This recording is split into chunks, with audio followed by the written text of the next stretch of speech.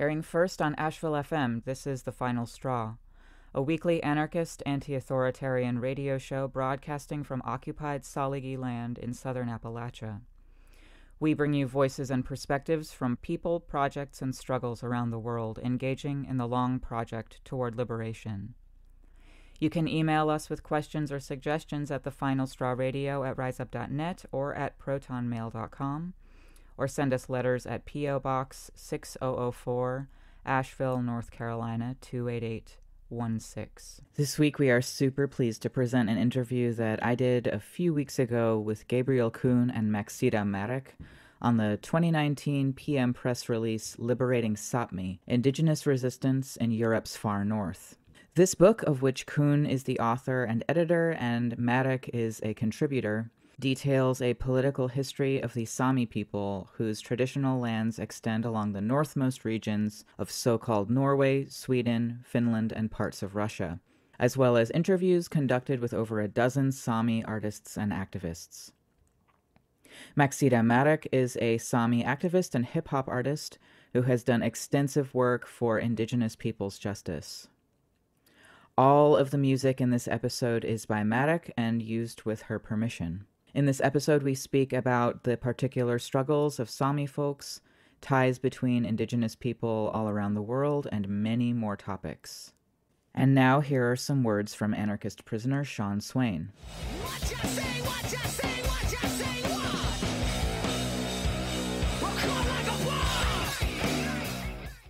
Okay, before I say anything else, I have to be sure to point out that I don't know what I'm talking about. I know. That normally doesn't stop me from filling up seven to eight minutes of bathroom break. But I just want to point out that I have no internet, and all I know about the situation in Seattle is what I hear from the mainstream media, which may or may not be accurate or informed. Because it's happening even as I record this, and because it seems like something I've been advocating, I want to at least draw attention to the fact that some serious is going down in Seattle. I'm hoping the seriousness of it isn't lost in the white noise of the times, because everything is seemingly overwhelming now, from the zombie apocalypse to the widespread insurrections and protests, and now Seattle. Just when you think the biggest thing ever just happened, the next bigger thing comes along. I think the events in Seattle could be that. I hope they are. So, this is what I think I know based on oblivious misinformation provided to me from the Disney Corporation. Six blocks in Seattle, Washington have been declared an autonomous zone. They didn't burn down a police precinct, they took it from the cops and kicked the cops out. They call themselves the Capitol Hill Autonomous Zone, or CHAZ. As far as I can tell, city and state authorities would like to have their city back. You know how delusional hierarchs are. Giving orders isn't any fun unless they've got people to give the orders to. They want their precinct and their city blocks and their subjects returned to them. So, they're negotiating the return of the autonomous zone to the delusional hierarchs. I, for one, hope that never happens. I'm a fan of autonomous zones. Seattle Rebels' use of those particular words makes me hopeful that they're anarchists. I don't know for sure, but I'm unaware of anyone else who uses the terminology. To declare yourself an autonomous zone is to say that you are now separate and independent from all existing authority structure. But also, it takes on the implication that it also rejects authority structures generally. In other words, an autonomous zone isn't just a physical space autonomous from surrounding jurisdictions, but it's a space where everyone in it is autonomous. It's a zone where autonomous people interact to maintain themselves and their space. Exciting Ward Churchill, a hero of mine, has written that rebellion accomplishes, in part, the opening of free spaces where the existing system cannot impose itself.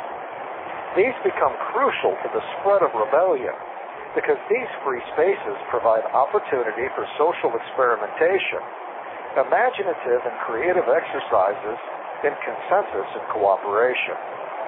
But also, these become ungoverned and ungovernable spaces, holes so to speak, in the matrix, where folks can plot and plan and spread to other spots. In my opinion, the most important thing is that an autonomous zone inspires others to think of the possibilities. What I mean is, if rebels in Seattle can do this, why can't rebels in Detroit or Chicago or Baltimore? No offense to Seattle, but there's nothing special about the people in those six blocks. None of them dropped in from the planet Krypton. They're not wearing a cape and tights and underwear on the outside of their pants. So this is my thinking in this moment. We might be all inclined to head to the Capitol Hill Autonomous Zone to be part of this momentous and historic event. I'm not sure how logistically feasible that would be. I'm just saying, a massive influx of people to any spot creates a drain on food and toilet paper there. It's not always helpful. My uninformed advice is to get in contact with Chaz Rebels. Maybe look up any web presence that's out there.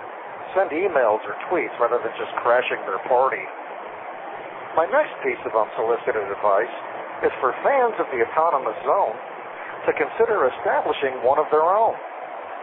Why go to Seattle when you can bring Seattle to where you are I have no doubt that Seattle rebels would be generous with information how they did this.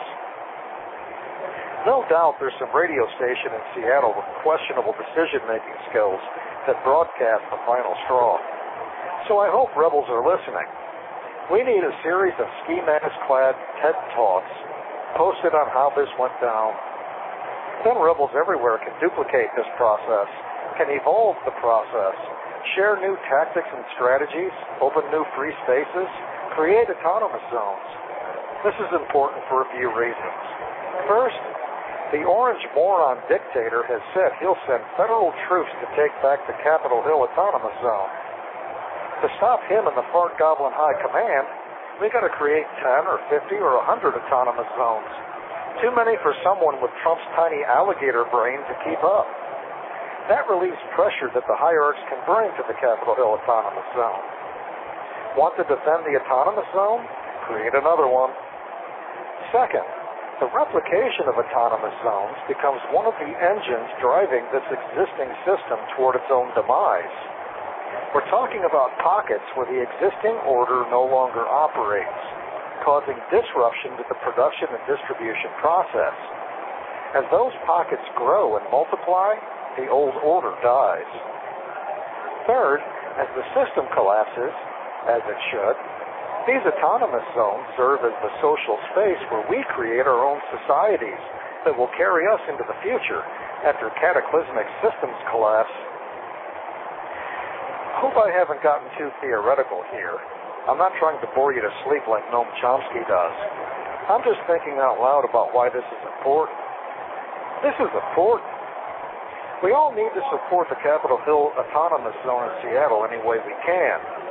Anyone there who wants to let me know what I can do, including maybe shutting up, can contact me by email via jpay.com through my Virginia state number. But just to be clear, I was just being polite. I probably won't shut up. But I will do anything else. This might be too early to say this, but I hope I'm right when I say this. Look at six blocks in Seattle. This is what the future looks like. This is anarchist prisoner Sean Swain, an exile from Ohio at Buckingham Correctional in Dillwyn, Virginia. If you're struggling by any means necessary to create the next autonomous zone, you are the resistance. You can write to Sean Swain at his latest address at Sean Swain number 2015638, Buckingham Correctional, P.O. Box 430, Dillwyn, Virginia 23936. You can find his past writings, recordings of his audio segments, and updates on his case at seanswain.org, or now follow him on Twitter at, at SwainRocks. My name is uh, Märak. I work as a hip hop artist and producer. I've been acting quite a bit before I started to do music. And I'm also known for being an activist in indigenous groups and uh, especially for the Samis because I'm I'm Sami. We are the native people of the um, Scandinavian North. We live and breed in Sweden, Norway, Finland, and parts of Russia. So for people that are political, they will probably know me as a, an activist artist, I would say. I don't know what, what more I can. I live in Jokkmokk, which is up north in Sweden. I have a daughter. She's eight years old. Mm. And yeah, that's me. Nice. Parts of. So my, my name is Gabriel Kuhn. I was born and raised in Austria, and then I left the country about 25 years ago and um, moved around a lot until I uh, ended up in Sweden in 2007. And I've been living here since and work as a writer and translator and am uh, involved in various uh, social and uh, political projects. So, firstly, I'd love to start out with a question for Gabriel. We're here to talk about your book, Liberating Sapmi, which came out uh, this year, in fact, from PM Press. Would you lay out some groundwork about this book and how you came to writing and compiling it? Yeah, so the book basically it's an introduction to uh, Sami history with a focus on the political struggle of the Sami people and anti-colonial resistance. And the book is laid out. It has two major parts. So there's an, an introduction, which I wrote, and which is called a short political history of Sapmi. Uh, so Sapmi being the traditional homeland of the Sami people and um, that provides uh, general background information. And then the, the main part of the book, which makes up about two thirds, are interviews with 12 Sami artists, activists, and scholars. So, so, so Maxida is one of them.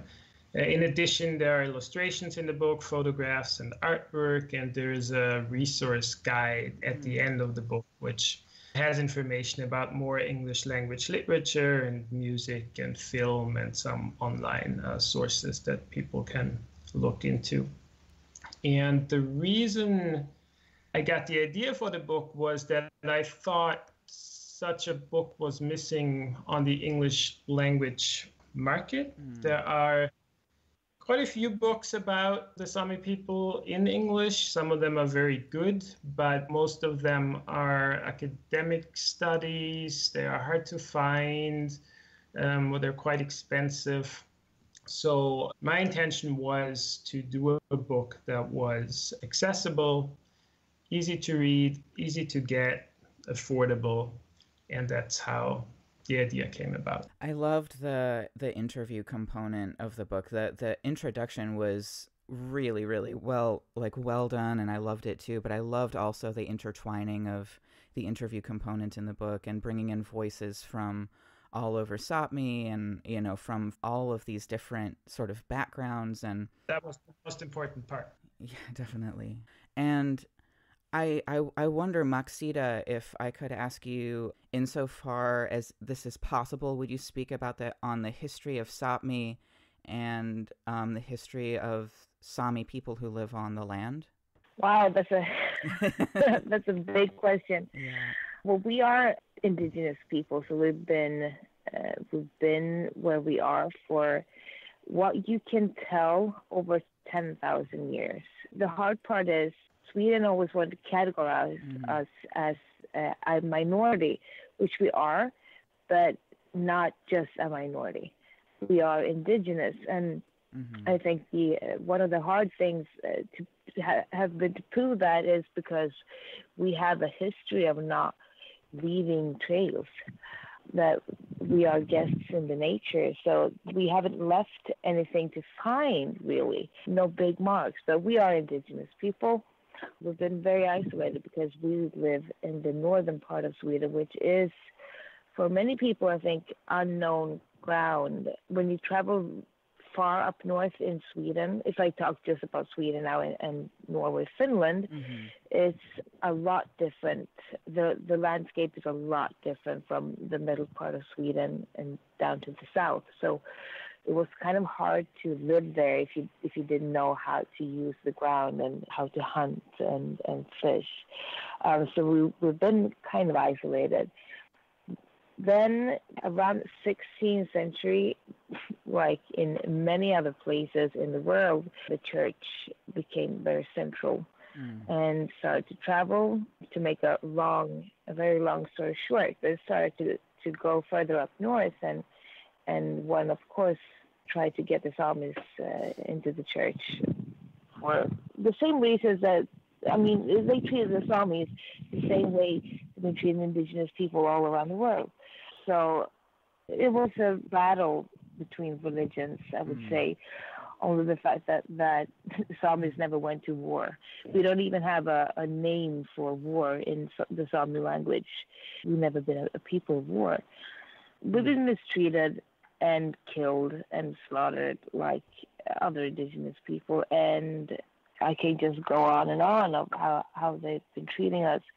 I can say that we we uh, we are the Sami culture is very different uh, from the Swedish culture, mm. um, which is also, uh, I mean, it's what I notice is it's hard to combine the Swedish culture and the Sami culture, or the non-Sami culture and the and the the Sami culture, because we live a lifestyle that is not what our goal is not profit. We have reindeers. We still do reindeer herding we are the only people in Scandinavia that does reindeer herding. In Sweden, we have no wild reindeers anymore, so it's just like cattle, but they are free. Then we have the language, our history of the yoik. Like I said, I mean, I could go into specific uh, areas. So if there's anything uh, specific you want to talk about, I can I can tell you.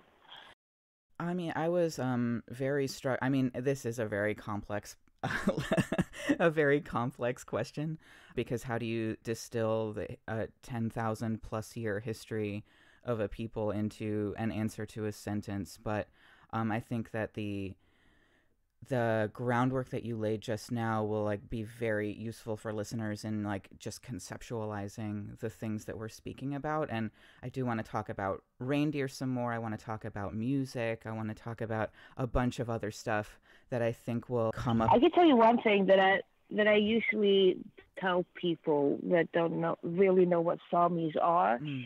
and that is that I feel more related to my Native American friends and my Inuit friends than I than I feel related to my Swedish friends. So our culture is is very similar to the other uh, more known indigenous people, and that's a good way to explain it. That we are not Swedish. Like the culture is very very very different from the Swedish culture. Yeah, that makes a lot of sense to me, and um there was a question that I had later in the interview about sort of the construction of race and the construction of whiteness as it relates to Sami folks. And I was. That's a very interesting topic mm-hmm. and very dangerous. Especially because of the way that I, I'm I like was born and raised here on Turtle Island and my understanding of race is very specific and very culturally rooted here. And I was I was wondering if you had any words on sort of the construction of you know race and whiteness and as it re- as it relates or does not relate to Sami folks, mm. or you or you specifically. This is so interesting because in Sweden, uh, they never ask me this question because the topic is so toxic Mm-hmm. And we don't even I mean in Sweden you don't you don't say race. Like you can't even mention it. I, I, I've noticed when I've been in the US or in Canada that people come up to me and ask, What race are you? And if you you could never do that in Sweden. Never do that. That word is like banned, which is um for good reasons often. But for some, it's, I mean, that is it's so interesting to talk about because one thing that we don't always have in common to other indigenous people is that you can't always tell if a person is non Swedish mm-hmm. or if, if they're Sami. We look very different. Like I have friends that are very tall, very light skinned. Um, you couldn't tell the difference between a, a non Sami person and, and, and that person, but that person could still be a Sami And then I have friends in my own family that are very dark. Like, like, like I said, like the people ask me all the time where I'm from. They can't really put a finger on it. Like, mm. where is she from? And that's been because that is one of the, of course, terrible things when it comes to racism that you get categorized and in what race you are and valued by the, the tone of your skin. And that is horrible. But it's also been one of the things that has have been, I think, hard for some sometimes that we have to hold on so tight to the other culture things we have as Sami because you can't really tell by just looking at us all the time. And I know I've heard stories from my elders that when Sweden came, when I say Sweden, I mean like the church or we called it lappfogdar. I don't know the, if there is a name in English, but there were certain people that collected taxes that could actually tell Sami women that they, they've been cheating, mm-hmm. fooling around because they have kids that look so different. They could have one kid that was so dark and one that was so light. So I mean, that's that is a question that I think that it's even toxic to talk about among Samis. I think, actually, of course. I mean, and we have groups in Sápmi that are very against mixing between Samis and non-Samis. Still, like that, you should keep the blood pure, and they they I they live in specific areas. More areas are more into that than, than others. And definitely how connected you are to the reindeer herding. I mean, only 10% of the Sami population in Sweden is actually working with, as a reindeer herder. And that's not a lot, but it's still one of the biggest and most important thing in the Sami mm-hmm. culture that that becomes very important. Like if you have a are you in the reindeer herding business or not?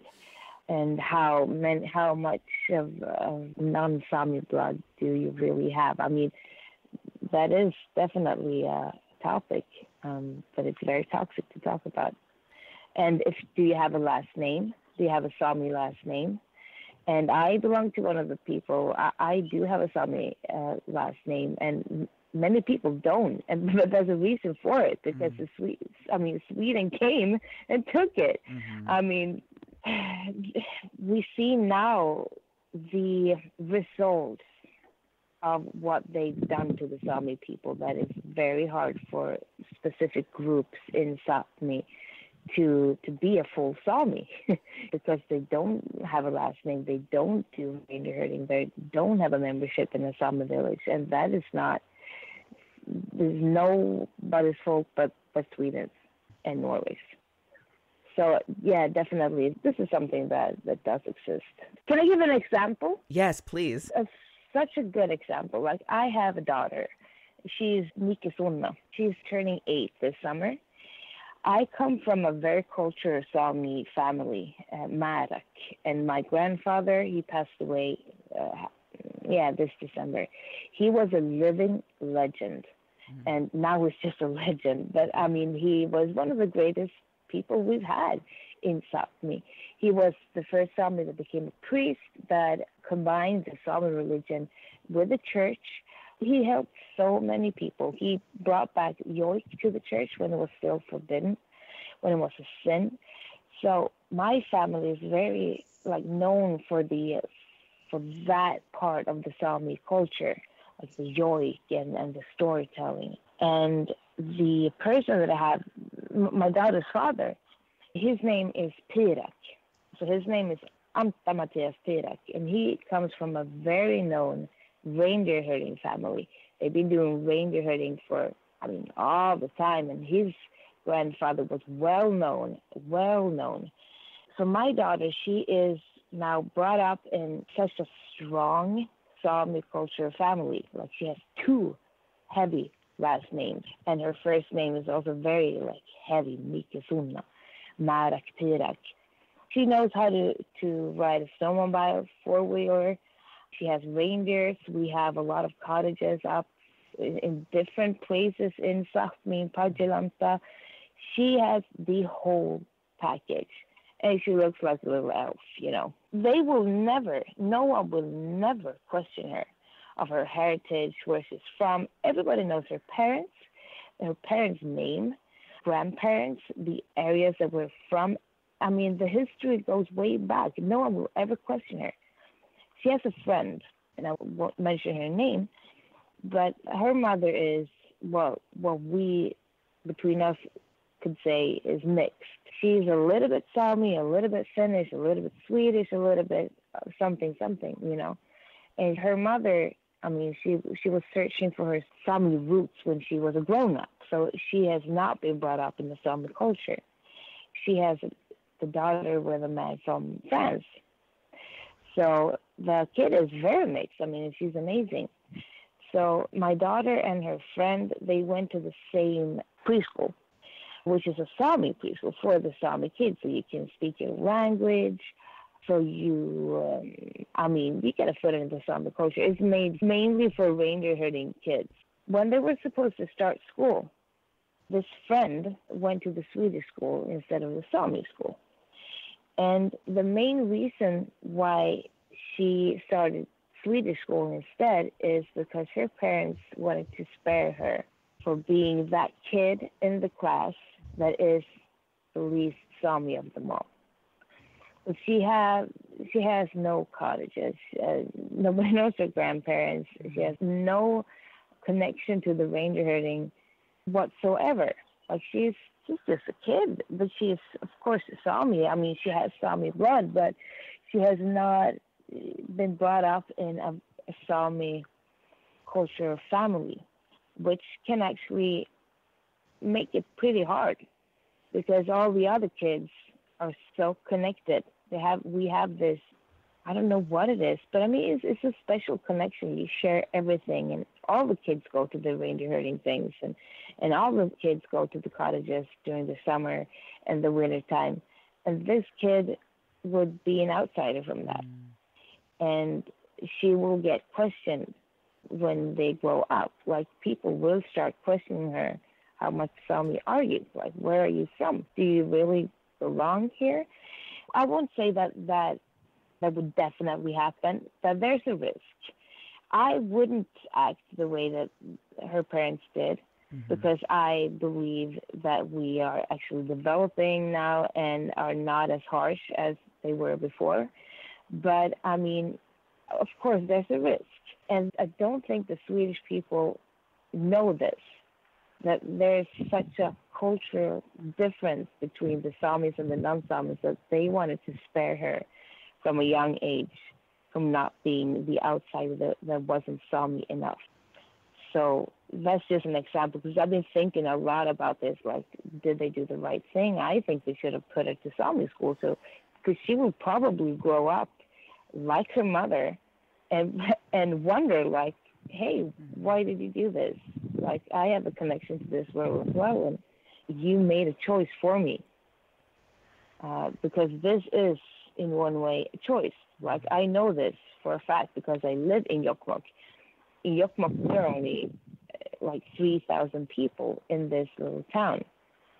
So here it's very much like, did you go to the Sami school or not? If you didn't, you have to explain yourself. Why? Okay, so now you're good. Now, now you want to become a Sami. You didn't have to to go through all the shit that we did that went to the Sami school, getting bullied and whatnot. But now that you're a grown up, now you want to become a Sami and have a traditional costume and okay, mm-hmm. you know mm-hmm. what I'm saying? So, so this is very. I mean, you can see this in, in different cultures, but in Sweden, I don't think that people have any idea of how it is. This is the Final Straw Radio, and I'm William Goodenough. You're listening to an interview with Maxida Märak and Gabriel Kuhn about the 2019 release Liberating Sapmi Indigenous Resistance in Europe's Far North, available now through PM Press. You are hearing a track in Swedish by Märak, whose title I won't try and pronounce, but which carries general Antifa sentiments. All tracks will be linked in our show notes at thefinalstrawradio.noblogs.org. Vi öppnade en stängd lillfingret, gjort och gjort, sluka hela handen. Högervindar blåser stort, rött och blått, brun skjorta, lite nasse, växer fort. Åtta vita skjortor lyser ljus, varje knapp knäppt upp i hakan, slipsknut, guldknappar när man tjack, långsamt med vit strut, spänner bältet med klorna, höjer handen i salut. Så. En, två, tre, fyra. Bruna skjortor står på torg. Fem, sex, sju, åtta. Bruna skjortor kastar boll. En, två, tre, fyra. Bruna skjortor gör honnör. Leker med sitt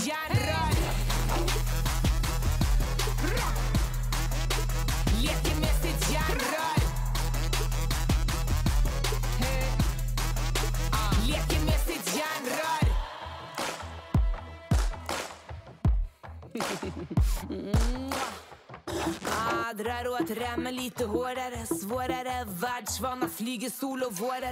Bomber som bollar med no limits, lite råare.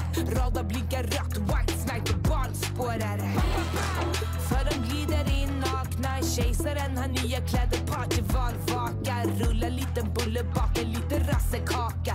Ole Dole Doff, några tusen ska tillbakas Bruna skjortor står på torg.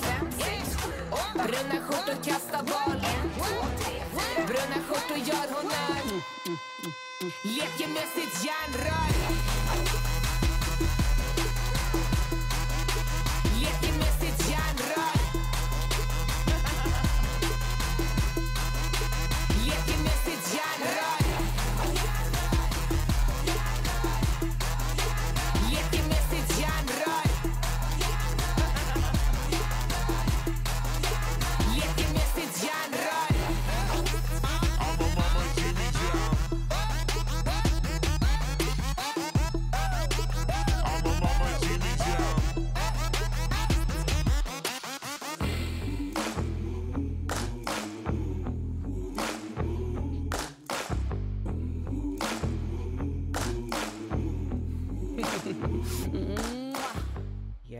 Thank you so much for that example. I think that, like, what you're bringing up for me is making me think of really just complex currents of understanding and belonging, especially in communities and in people that are heavily impacted by the ongoing violences of colonialism and how like complex that can look. Gabriel, I would love to ask a little bit more about the book and about like your process in writing the book and about sort of how you approached this kind of research and history work as somebody who is outside of the community that you are seeking to uplift and um, and like do this kind of work with. And I'm wondering what sorts of things should other researchers keep in mind, in your opinion, if they are seeking to do this kind of work as well? So I, I think this is a, a, very important question. It's also a question that makes me uh, slightly uncomfortable mm. for, for the, because just the fact that I um, decided to do this book as an outsider doesn't necessarily mean that I know how to do that mm. or that I did it the right way. So um, um, I'm sure there are plenty of things that I could have done better. I'm sure that people have very valid criticisms in general. I don't think there's a blueprint for how to do this. So all I can say in response to your question, it's all going to be very subjective. Obviously, I gave that much thought before I embarked on the project. I mean, this was in many ways, but also in, in, in this way, uh, a very special project for me because, let's say, I work on a book about sports or I work on a book about mm straight edge. I do not question my validity as an author. If I feel I have a good idea for a book and I find a publisher who wants to release the book, then I get to work and do the best I can, but I don't really go through a process of asking myself, is, is this really my place? Now, with this book, that was a very big question. That was the decisive question at the beginning. I felt that I had a good idea, but I was not sure whether I was the right person to do it. So the first thing I did, which um, I guess maybe is the first part of, of answering your question, the first thing I did was basically to look for approval within the Sami community. Now, the Sami community is no monolithic block. People have different opinions. There are no individual Sami who can speak for the whole community. But I was looking for feedback and opinions of people I knew and people whose thoughts for different reasons were particularly important to me. And, and i mention it because i always oh, i also mention it in, in the preface to the book. I remember there was one very important uh, phone conversation i had very early on with uh, anders sunna a sami mm. painter who uh, maxida knows well. And i a big fan of his work, and I and I also wanted him to be uh, one of the people in the book that I interview, which then he agreed to.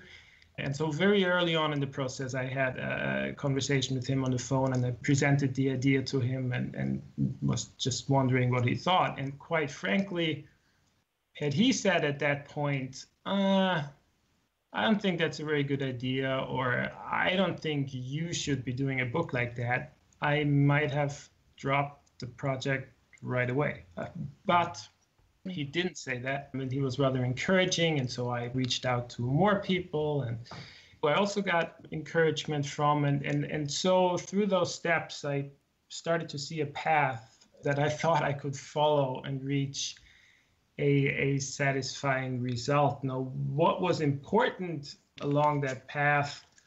I think a lot of that is actually common sense, although I'm aware of the fact that historically, people who have written books about communities that they themselves not belong to um, didn't necessarily follow those common sense guidelines. But one thing that I felt was was important was just that I was very clear about my position and what I was able to do and not able to do. So I have no firsthand experience of Sami culture I am not an expert scholar on Sami culture. My approach comes from a, a long-standing interest in indigenous peoples and their struggles for justice. And so because of this interest throughout the years, because of travels I did and studies I did and many conversations I had, I felt that I acquired enough knowledge that allowed me to basically build a platform, in this case for Sami voices to reach a broader international audience. So to make this really short, I just felt I could be a facilitator to spread knowledge that I thought was important. And then the second part related to that, and this is maybe even more common sense, is that in, in the process of working on the book, obviously I'm 100% dependent on Sami contributors and mm-hmm. Sami advisors. And, and in that process, you got to be respectful, you got to be honest about your intentions, you have to acknowledge people's contributions, put the community at the center of the project and not yourself. And again, I cannot speak for how well I managed to do that, but this this is what I tried. I can maybe add one more thing that I think helped in this process, which is that this is not a book that I will make a lot of money off. Uh, is is it's not a that helps me with an academic career that I do not have, and it helped I think because those aspects add yet another layer of, of ethical questions that I think are difficult sometimes to deal with. So luckily, I, I didn't have to deal with those. So so I think that also made it in a sense easier. I think there are very general guidelines that would probably be useful for anyone embarking on such a project. But then, of course, it very much how that plays out specifically very much depends on the specific project that people are working on, like where they are at, what their position is, what their relationship is with the communities they they write about. So it's Exactly. There is no blueprint. I think there are some general guidelines, but but if you decide to do a project like that, the, the specifics you have to work out in that specific project you're working on. One thing I am curious about, Gabriel and Maxida, what kinds of support for Sami issues is there among far left and anarchist spaces and anarchist people in Scandinavia? And sort of any invitations or provocations that you might have for how people how people around the world, but specifically how people on the land can have y'all's back a little bit better, or if they're doing something really well and you want to name that, I would love to hear that. How about this? I, I can say something about my experiences here in the in the broader activist community because that, in a sense, there was also a uh, I don't know if motivating factor is the right word, but but it played into my idea of of doing this book. And I know that Maxida has to add a few things to what I'm going to say, and then we can maybe look at more specifically what, especially uh, into people outside of the Nordic countries, can do to support Sami struggles. So if I just speak about this, my, my experience here with the with the so-called activist community, it was very surprising to me when I first came to Sweden in 2007 because from the time I spent in North America and Australia and New Zealand, my sense was that, again, very broadly speaking, the activist communities there with all the flaws and shortcomings and mistakes that we all make, at least had a very clear and I felt sincere ambition to be good allies, accomplices, collaborators, whatever the preferred terminology was, to Indigenous people. So to stand in solidarity with them. And I kind of expected that to be the case here as well, but I don't think it is. Mm-hmm. So if, if you look at the non-Sami activist communities in the Nordic countries, to me, there was, and I maybe it has changed since I came here, but I think there still is a surprising level of ignorance. I mean, I'm, I'm simplifying here, but if you talk to the average sort of leftist radical activist in, say, Stockholm, mm. they're often very well versed in what's happening in Palestine, Chiapas, perhaps even on the Pine mm. Ridge Reservation but they're very ignorant about what's happening in Sapmi. And I thought about this a lot, and I think there are a few reasons for this, and I've not really come to, to conclusions, so these are kind of guesses. But I mean, one thing is that this ignorance is a reflection of general ignorance among mainstream society here about the Sami peoples. Also, in that sense, it's a reflection, but I think there are other issues as well. One is, I think that historically, the left, and that reaches from social democracy to the to the far left in the Nordic countries, was particularly, let's say, technocratic and progress oriented. Mm-hmm. So industrialization, technological process, science, including at the beginning of the 20th century, racial biology, all of that was supposed to be a way towards socialism, considered progressive. So if you have that picture, indigenous people like the Sami basically a stumbling block. They don't fit into into this picture. So I think that is one thing that that you can still feel. People don't really know. It's something that doesn't fit into this historical leftist ideology and so people have a very difficult time to deal with that and more concretely i think that is then enhanced by what what i as a complete outsider, because I'm not even originally from the northern countries, see as, as, as a bit of a cultural problem. What I mean by that is that here in, in the Nordic countries, maybe particularly in Sweden, people often have a really hard time with uh, dealing with conflict. Whenever there is conflict or there are certain issues that are complicated, people um, get very insecure and confused. Now, if you look at the broad activist communities here and the views that people have and the issues that are important and the norms that are often attached to it, some of them clash with the realities in Sapmi. So if you take examples like animal rights, you know, I mean, people here in the left are often anti-hunting, uh, for example. hunting is a part of traditional Sami culture Reindeer herds are protected from predators, for example, wolves. So here we have one example where that sort of clashes with what's often perceived as an anti-hunting norm. In the left, similar with environmentalism, people are in support of green energy, which I guess is fine. However, if you look at how that plays out in reality. Wind parks are predominantly established in Sap because that's where they least disturb mainstream society, although they majorly disturb reindeer herding. So there you have another conflict that, that some people on the left find difficult to deal with. Also, things like national identity. Uh, a lot of Sami activists would speak of the Sami as a nation and find that important. We have one contributor to the book, for example, Aslak Holmberg, who speaks of cultural nationalism as something as something that's important.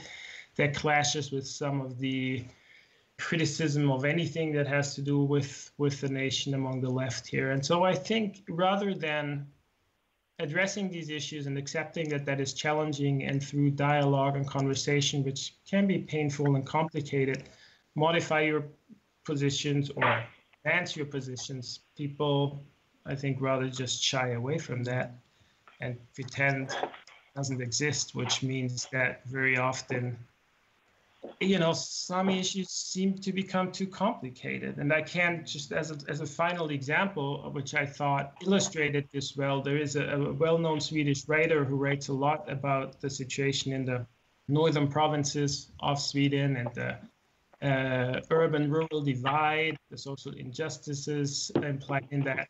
But he doesn't write anything about the Sami. And, and he once explained that saying that, oh no, that topic is just too complicated. Whatever you write, it'll be wrong, meaning that whatever you write, someone will criticize you for that, perhaps harshly. And while that may be true, and while I understand on a personal level that you don't want to put yourself in that position, if most people have that approach, you will miss out on debate and then a third aspect, right, I might mention, and Maxida knows a lot about this because she has experienced all of that uh, firsthand, mm. is that if you look at the tactics that, again, the sort of average Nordic activist employs, and that's nothing that's specific about the Nordic countries, that's, that's true for all of Western Europe, it is very much based on an urban environment. So, you know, you can be a pretty anonymous figure with tense protests and meetings, but if you want to, you can go about your daily life pretty much undisturbed. This doesn't work in an environment like Sapmi or any rural environment for that matter, because people know you and there's no place to hide if you're outspoken on mm. certain issues, which also means that the risks you're taking are much higher and that demands a very different approach, I think, to political activism than what a lot of people in the urban general leftist activist communities are used to. So I think that that creates another complication here. You've done your job, Gabriel. Everything you said is exactly how it is. I mean, that is so correct. I mean, in Sweden, people are so afraid of conflict. And I'm sad to say that there's not a lot of true activists in, in Sweden. I have a word, låtsasaktivist, which actually means a fake activist. I know a lot of people and a lot of so-called activist groups that say that they fight for justice. When you come down to it, it's it's not about justice at all. It's just about making yourself heard, making yourself look cool. But when it comes to the source, like what do we fight for, or should we really fight? Shouldn't we try to gather? They back out. So, like Gabriel said, there's a lot of so-called activists that uh, it clashes with the Sami way of living. One example is one of my close friends. He got prison, several years of prison, because he was accused of having killed a Wolverine. And I can tell you that his family, they got so harassed for years from the so-called activists, the animal friends. So, I mean, we struggle with with both the politicians in Sweden, all the Swedish the Swedish government, and the so-called activists. A lot of the indigenous-friendly people, they love to go to the U.S. to protest. I mean, do you know how many people from Sweden that went to uh, when the pipeline thing? Standing Rock. Yeah, yeah we had so many Swedes that went there for the Native Americans, and you they want to. I mean, put a feather on their fucking head and, and pretend to be some kind of a, a spirit animal. But they would never, never go up north to do the same for us. And I think that is also because Sweden, I mean, the, the history that we have, it's now you can really tell the difference though between, for example, the US and Sweden. Sweden has been pretty protected from war. So the Swedish people don't know what a revolution is. The, the people in Sweden that have been abused are the indigenous people and the people that immigrated, of course, into Sweden. But the Swedish people have not been through trauma. So I think this is a result of that, that when it comes down to it, they get too afraid. They would never choose a side. Mm. Like you, if you ask the Swedish people, what do you vote for? 95% would not tell you, ever. Never will they tell you. And if if you do, you have a mark on your head, like your left and your right, and you will live with that for the rest of your life. I mean, so that is like Gabriel said. I mean, it, it crashes. We have uh, a lot of so-called activists in Sweden, but to be honest, there's not a lot of real activism going on here in Sweden. And I can just agree to everything that he said, and it's very interesting to to hear him speak about it, and he can see it from an outsider, like a, different perspective, because I think that uh, Swedish people would probably not agree, and that is also why it's kind of hard to live in in this world because sometimes it feels like we have everyone against us. You can never do anything right. The whole culture and the way that we live and breathe up here, it just doesn't combine to anything else in Sweden. We have don't have the same, same tempo and and I think this is of course also the Swedish government and has been very good at keeping quiet, like not teaching some history. So when when we claim our rights, people don't even know that we exist. It's kind of hard to claim your rights if they don't know that we exist. And then we get questioned for that. So everything that Gabriel said is, is completely true, yeah. which is sad. It's very sad.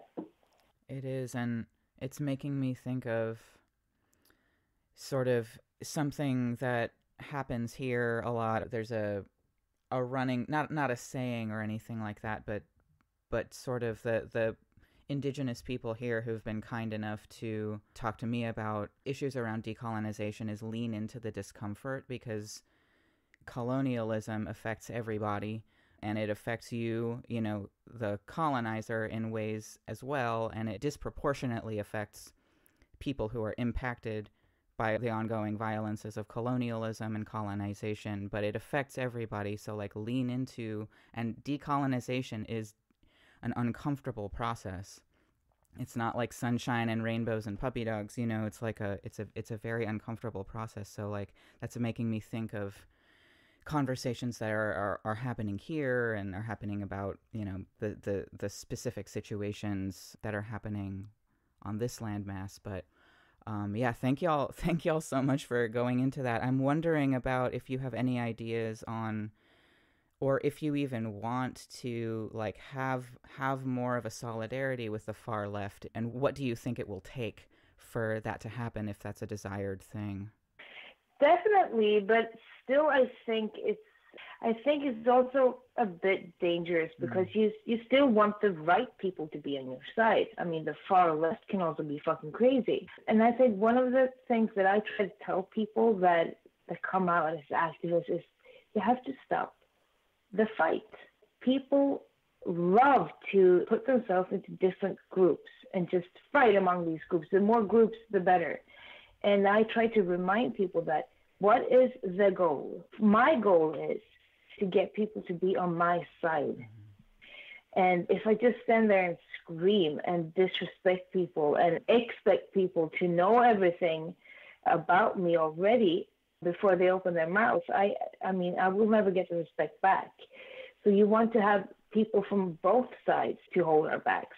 Of course, not not not, not the riotous right, um, but I just I, I feel that it it's dangerous to to categorize a whole culture to just be on the left. I think the goal is for people to understand that this is our norm, and we need people on every political party, except for the racists to be on our side and not just activists, but normal people. You know what I'm saying? People that are non-activists, people that that that don't dare to be an activist. You, you can't expect everyone to be the way that I am. I'm very outspoken and I'm very unafraid. Like, but people are not just like that. Everyone is not like that. So of course the goal is to get people on our side, but for the right reasons and in the right way and you have to aim high. You have to aim for the uh, Swedish government. You can't just be a grassroots, you know. That's what I said when I started as an artist. And some people started questioning me when I went to big events with all kinds of people, like known artists and, and politicians. Like, what, what does she do? Why is she there? Like, she used to be in the woods screaming. Yeah, I used to be in the woods screaming, but my goal was to be on the around the fucking round table.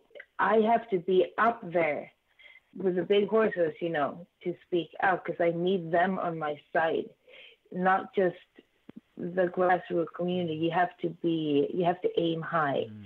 So I want the Swedish government. That's my fucking goal to get them on our side, and hopefully the the next generation are smarter.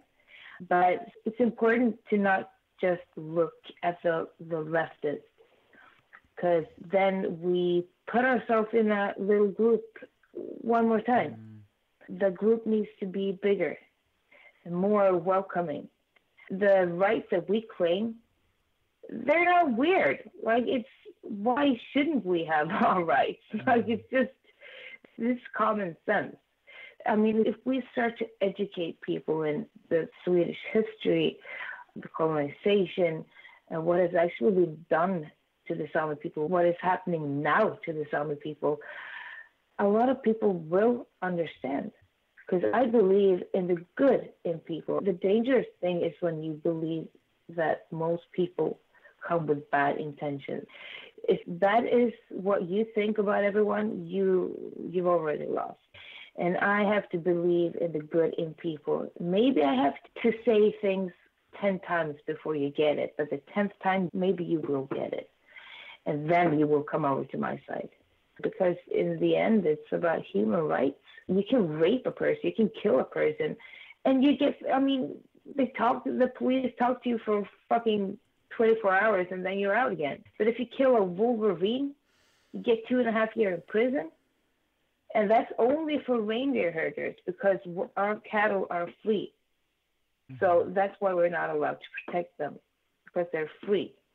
Like if we have them as cows or pigs, then it's different rules. But only Sami people have free cattle. So we mm-hmm. have different rules. I mean, that's just an example of how it looks today. And when you tell people this, a lot of people actually mm-hmm. understand. I mean, I've I've met all the big politicians in Sweden.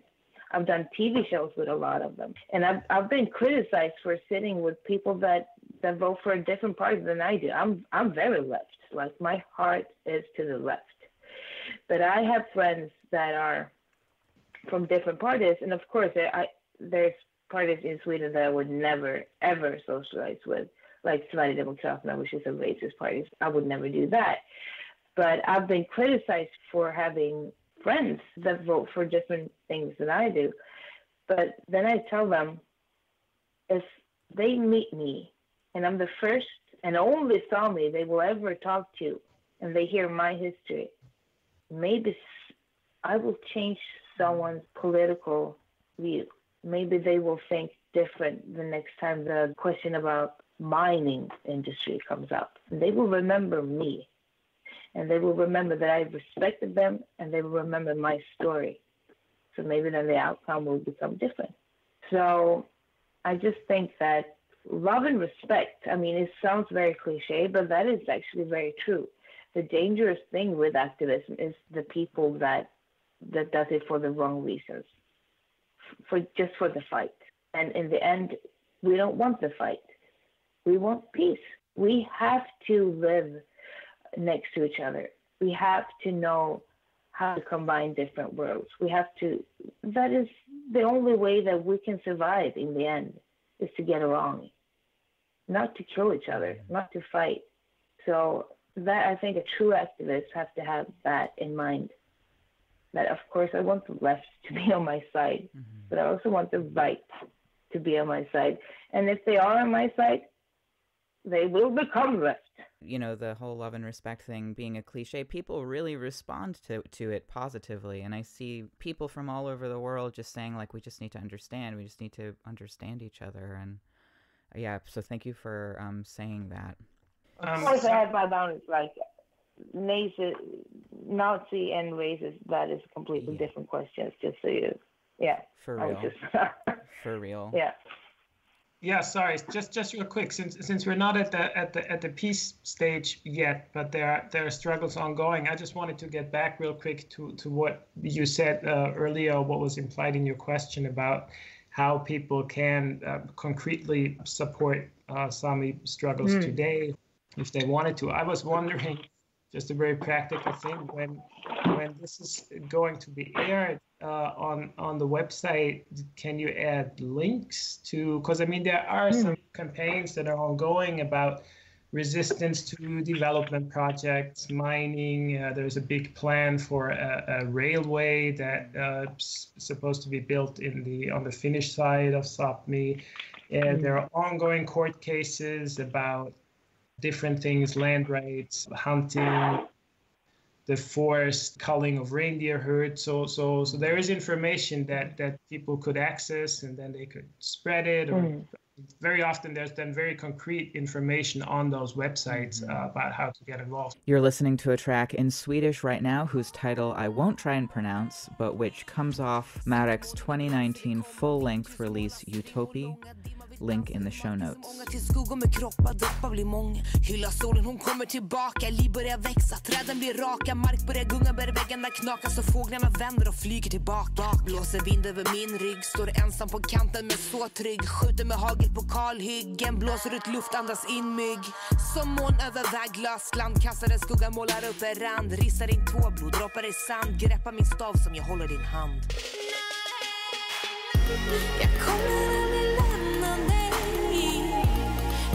flyger över väglöst land i natt. Jag ropar, jag behöver dig. Kassan mig ut men landade ändå här? Jag kommer aldrig ångra mig. Du är som en annan värld för mig. Dina vingar tar mig över.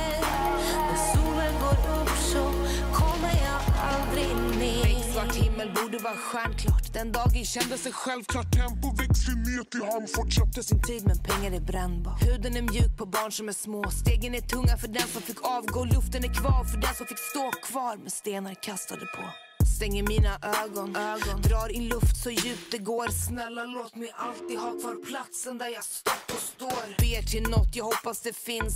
För jag vill aldrig sluta. Hoppas att vi kanske räddar allt om sagor återfinns. Hoppas att vi kanske räddar allt om sagor återfinns. Jag kommer aldrig lämna dig. Vi flyger över väglöst land i natt. Jag ropar, jag behöver dig. Kastar mig men landade ändå här. Jag kommer aldrig ångra mig. Du är som en annan värld för mig. Dina vingar tar mig över.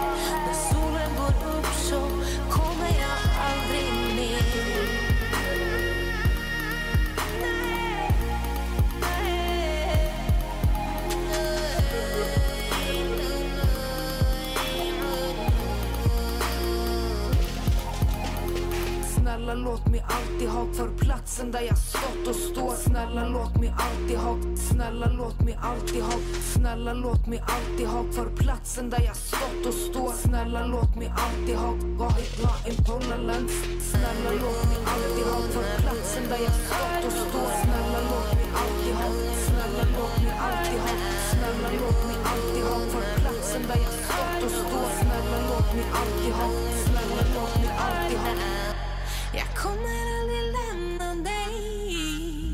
Vi flyger över väglöst land i natt. Jag ropar jag behöver dig. Kastar mig ut men landade ändå här. Jag kommer aldrig ångra mig. Du är som en annan värld för mig. Dina vingar tar mig över.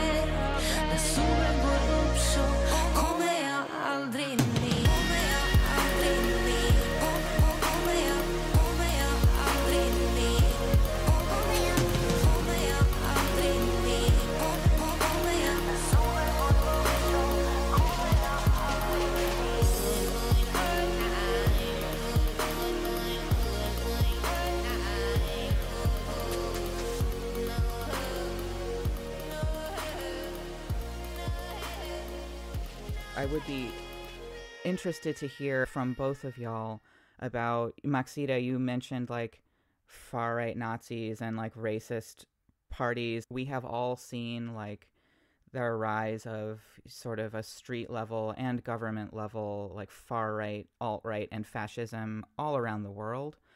I'm wondering what kinds of impacts that has has had on Sapmi and on you, y'all specifically. It's very, I think it's kind of uh, ironic because a lot of people are like, yay, the, because we have Sverigedemokraterna, it's called, the Swedish Democrats. And I often get a comment like, they would love you, Thomas, because you're the like the, the native Swede. They don't, definitely not. No, no, no. They are against probably everything that we do, and especially the reindeer herding. And like all the parties, except for the left ones, unfortunately, some of the left ones as well, are for, for example, the mining industry, and that we, the Sami people, and especially the reindeer take up so much land. I mean, they are against everything that is not really Swedish culture. And we are, I think, when you start to talk about what Swedish culture is, is where you can really see that the Samis are different from the Swedes. So, I mean, of course, we, we are affected from it. And if they would get power, more power than they have, it would be a definite issue for the Sami villages mm. and for the reindeer herding industry, definitely. They want to open up the Sami villages, and this is kind of hard to explain because then I have to like explain what a Sami village is, but you could almost call it a tribe. And in this so-called tribe, you have to have a membership, and only if you have a membership you can have reindeers. And we have specific areas in Sweden for every village that we can have our reindeers on. And on those areas, for every specific village or tribe, we have fishing and hunting rights. And we are the only ones that actually can fish and hunt there because we are so called protectors of it. So people won't come there for um, vacation, you know, sport fish or whatever. And so that's one example. They, they want to open up the Sami villages and make it free for everyone to have rangers and everyone to fish and hunt. And oh, the result of that would be a catastrophe. We would lose everything. So, I mean, yeah, we are definitely affected and affected in, in ways, of course, that they are just racist pigs that hate everyone that is not white. So, if I can add maybe one thing that I think is interesting, if you observe the, especially the, the, the far right parties that now are in all the parliaments of the Nordic countries, so the, the Sweden Democrats here in Sweden and the so called Progress Party in, in Norway and the True Finns in Finland.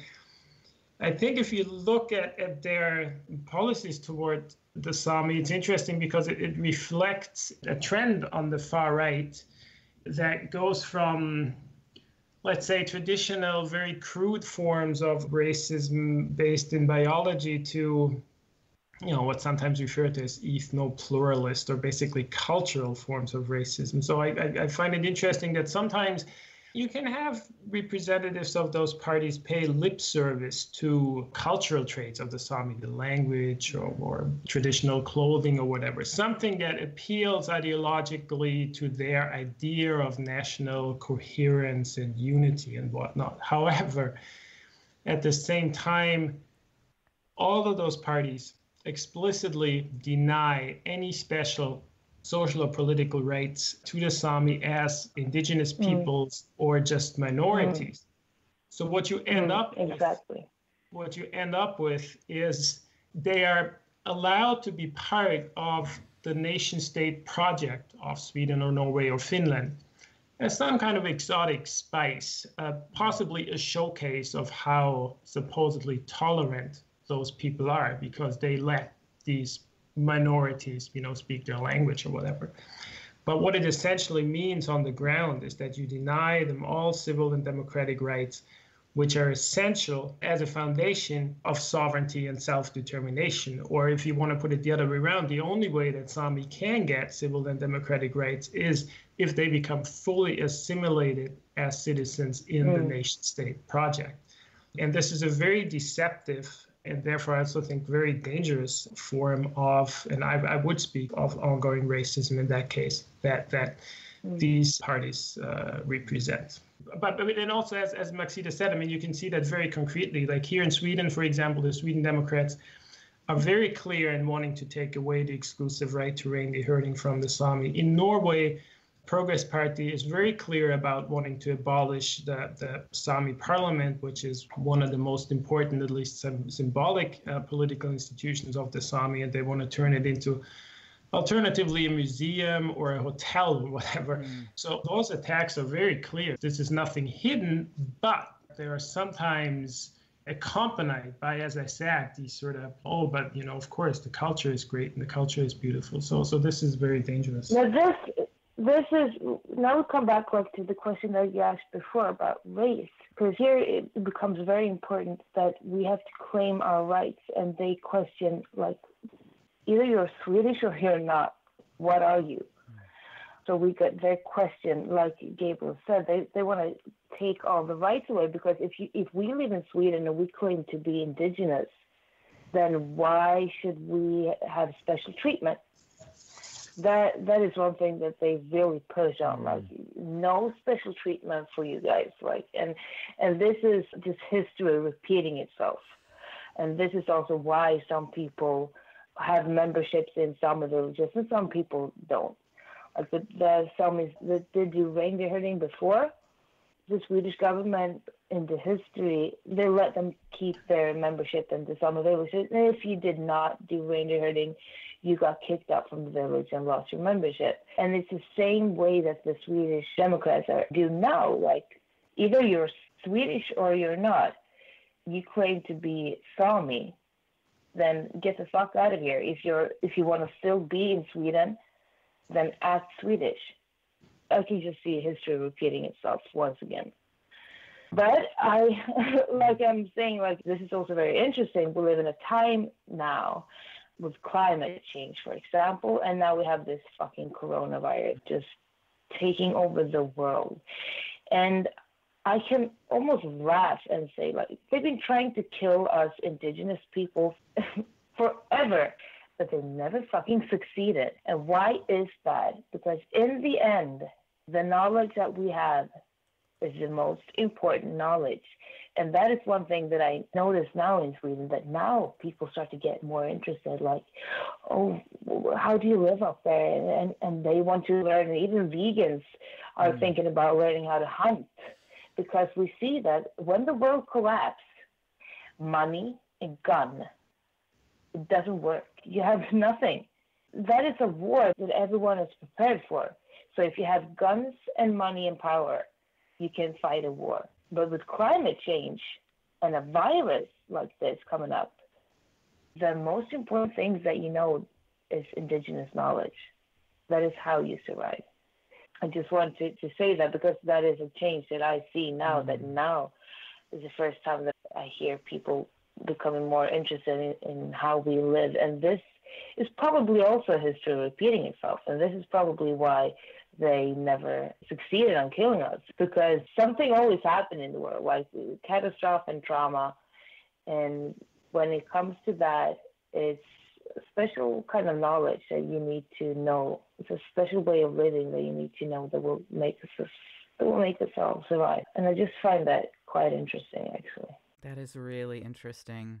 This gets into kind of a question that I had about specifically about reindeer herding. I was interested in reading Gabriel's introduction to Liberating Sapmi, sort of horrified to read that Sweden or like the colonial governments were sort of gatekeeping um, Sami identity by and maybe this is a misrepresentation and please let me know if i'm if i'm misrepresenting the situation but gatekeeping sami identity by saying essentially that if you don't herd reindeer you're not sami. Is that correct? I, th- I think it's specific what, what is true is that specifically in sweden you have the strong distinction which comes from a law from the early 20th century between reindeer herding sami and, and non-reindeer herding mm. sami.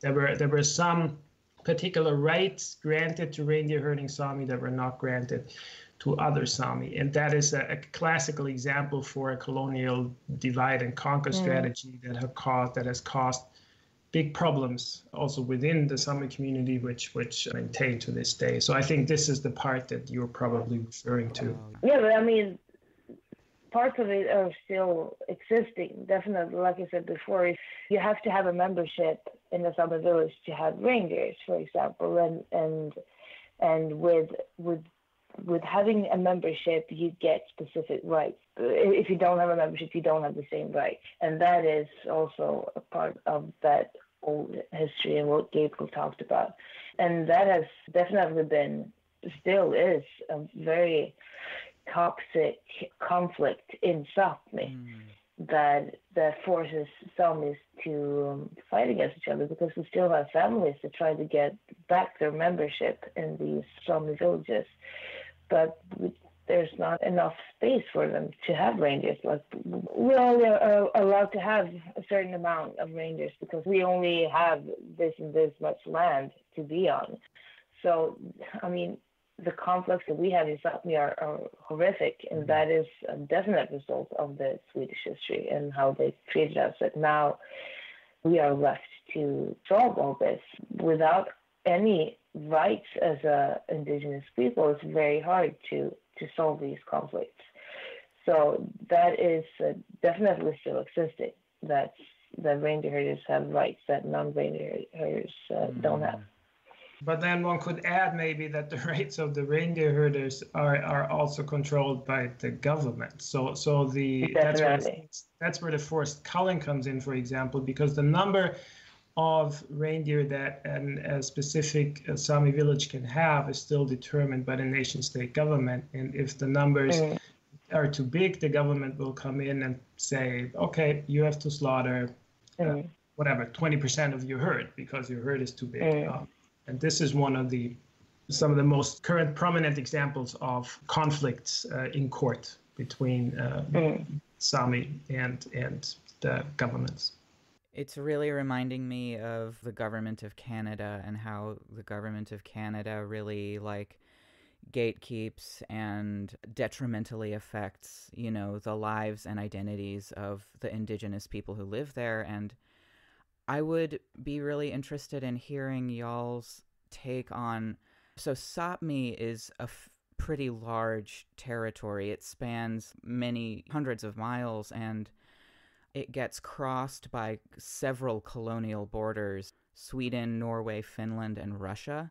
And I know in Canada there are many, like the Anishinaabe and Haudenosaunee and Mohawk and uh, coastal Salish, all all of those territories are also crossed by like a very heavily militarized colonial border, to say nothing of the colonial border in the south. And I'm wondering how that colonial border has affected sort of the relationships between folks that like who are Sami who live in in Sapmi. Um, I wonder if y'all have any words on that.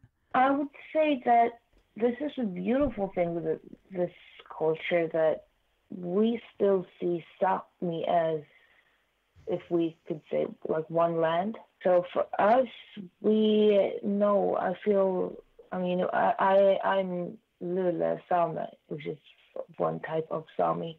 And I have, like my people, we go way into Norway.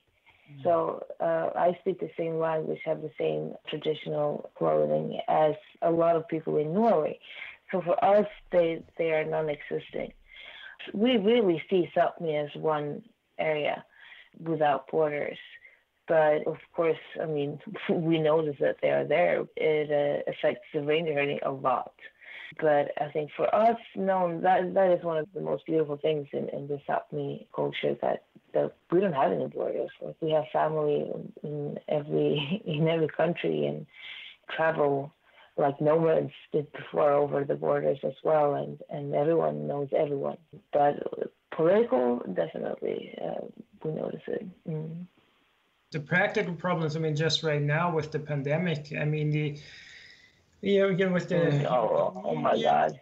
with the European Union and special uh, treaties with Norway, since that opened up the borders, uh, generally, I think they've sort of lost some of the significance they've had up to 20 years ago. But just just right now, I mean, all the borders came back up, and um, I just emailed with a couple of days ago or texted with, with people who live uh, along the Deatnu River, which for a very long stretch of a few hundred kilometers marks the border between between Finland and Norway and you have Sami families literally on the opposite side of the river. So, so some of them would live in, in Finland and, and the others in Norway.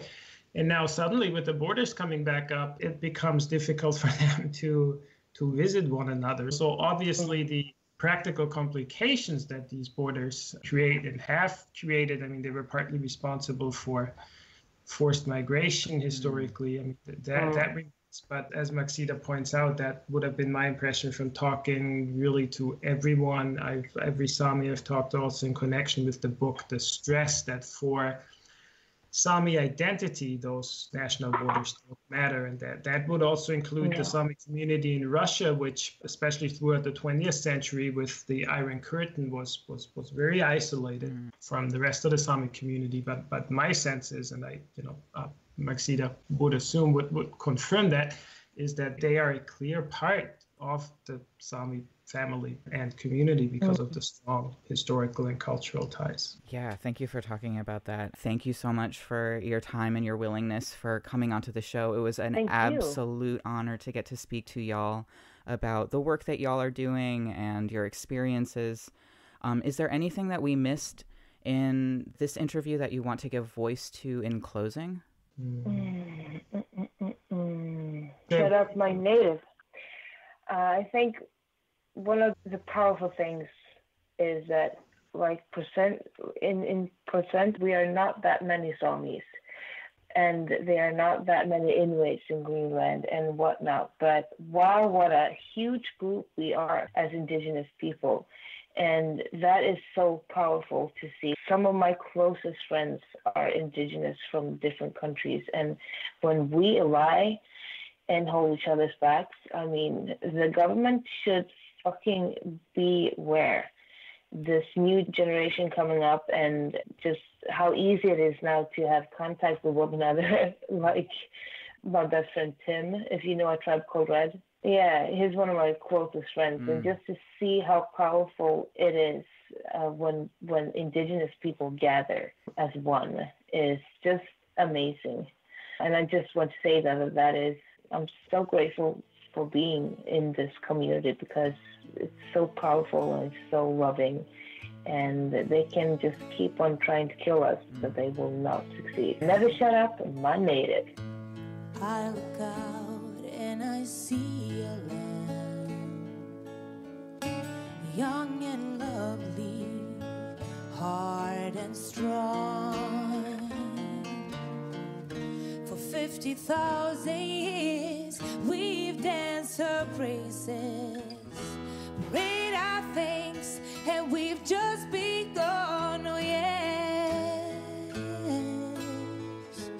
This is my country, young and growing, free and flowing,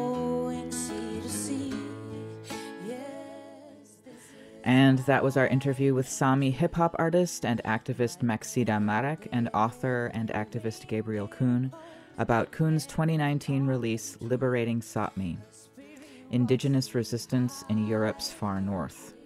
Available now through PM Press.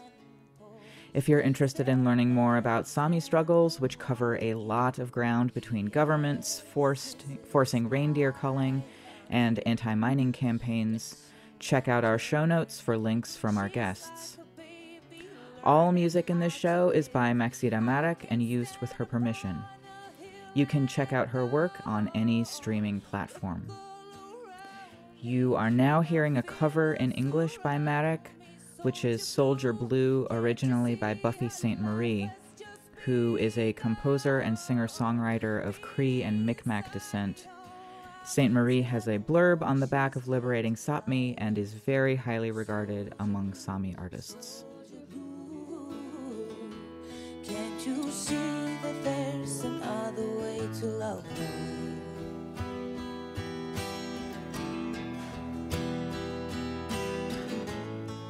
Yes, this is my country. And I spring from her, and I'm learning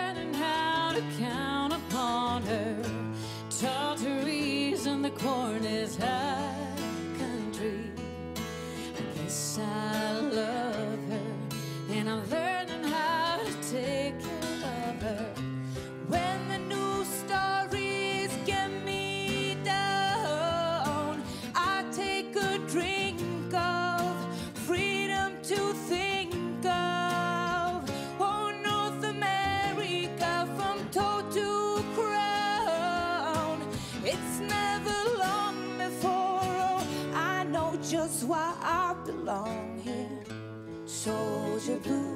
soldier blue. Can't you see that there's another way to love her? Soldier blue, soldier blue, soldier blue, soldier blue. Can't you see that there's another way to love her?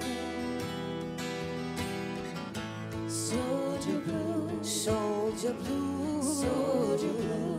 Can't you see that there's another way to love her?